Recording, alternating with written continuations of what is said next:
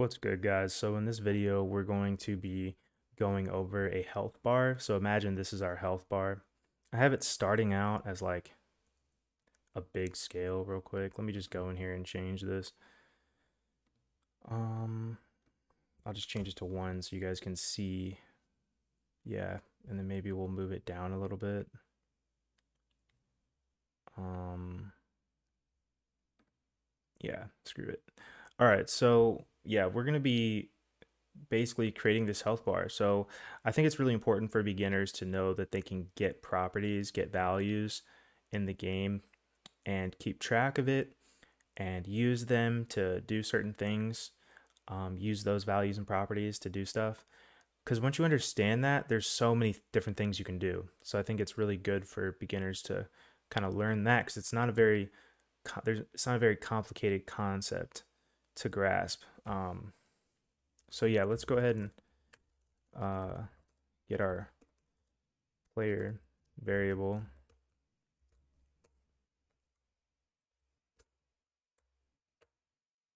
Um, you can only get this local player on a local script, by the way. Uh, and then what we're going to do is we're going to get our screen GUI, which is our script.parent, because this local script, I have stored it under our screen GUI. Um, and yeah, these are terrible names. I didn't name these at all. You may want to name this like health GUI or health if the frame health bar, you know what I mean? So definitely come up with some better names. Um, I apologize, I'm just lazy. So we're gonna get the character And so what we're doing right here is we're getting the character. And if the character doesn't exist yet, we are going to um, wait for it uh, using the character added event and then connecting it to a wait function.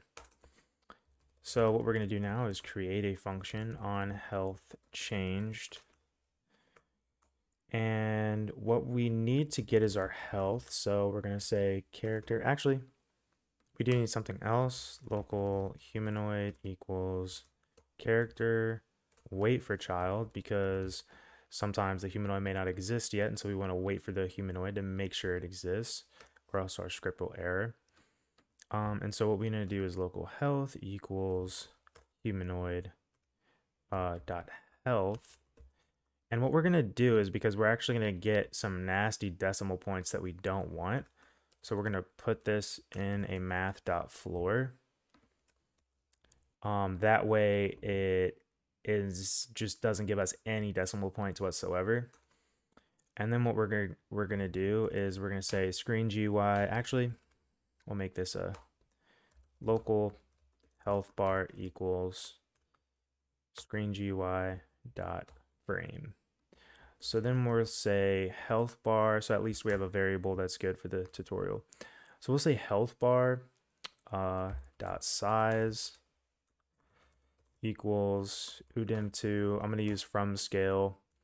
And then we're going to pass in health and divide it by 100. So this means that if health is at 90, it's going to turn into 0.9, which is what we need for our values when we use udim2 and we're changing the size of uh, scale and so that's gonna that's gonna come out to 0.9 if the health's within 90 and then we're just gonna pass in our, our default um, property right here.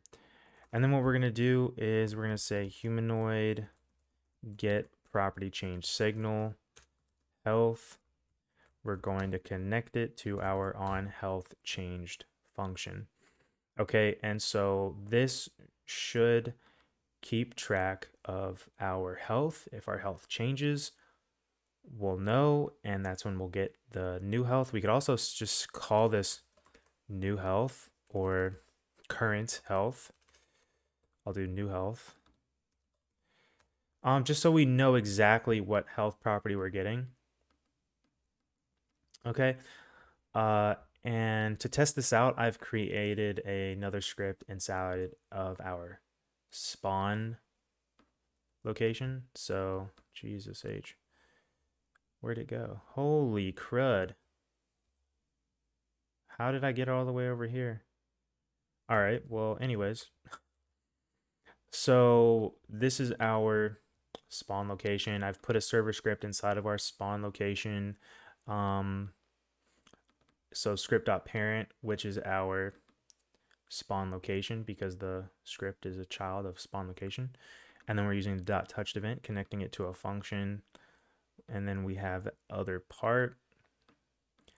Um, and then we're saying local character is other part dot parent. If not character, then return. So this is basically saying if parent doesn't exist to other part, then we're returning it.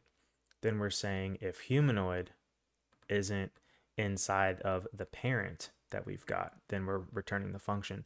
So these keep the function from erroring and breaking. Um, and then we have our debounce, okay, has took. Could actually name this has took health because let's be honest, has took is not clear. Uh, so yeah, then we have has took debounce, has took health debounce. And if it equals true, we're going to return because we want to wait. I'm actually going to put a constant up here, local took health wait time equals 2. All right, took health wait time. And so, yeah, there's our constant. And so we're basically going to take away 5 health, or we, we can also make another constant, actually. Um, local health damage, I guess. Health damage equals 5. We'll do 10 for this video. Health damage all right.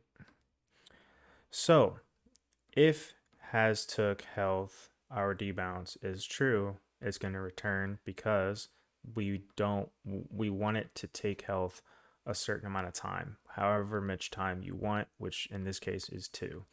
All right. So then we are damaging the health. If it's false, we're setting it to true, and then we're waiting uh, our took health wait time, actually. I named it health. Okay, whatever. Uh, and then we're setting it back to false so that we can take health again. So let's go and test this so you guys can see this bar working. And as you can see, this is our health, okay? And the default for Roblox health is that, oh, well, it gets taken like this. Well, it gets it gets increased like this every like second or whatever. Um, but yeah, let's go ahead and just keep diminishing our health. And as you can see, it's it's with the same bar up here uh, in the corner. And so yeah. So yeah, that is one way that we can keep track of our health and um, for our GUI uh, and have our own health bar. Um, so I hope that was pretty helpful for this video. Now, I didn't want to go over animating for this video because um, it's completely different. Uh, but I will eventually make a tween service video for this uh, in the future. But I just wanted to um, come out with this real quick just because it was an easy video to make and um, I'm still doing uh, I'm still going over HTTP requests uh, and I want to make it a really good video so I'm going to spend some more time on that. Um, and that should be the next video to come out. But yeah I will see you guys in the next one. Peace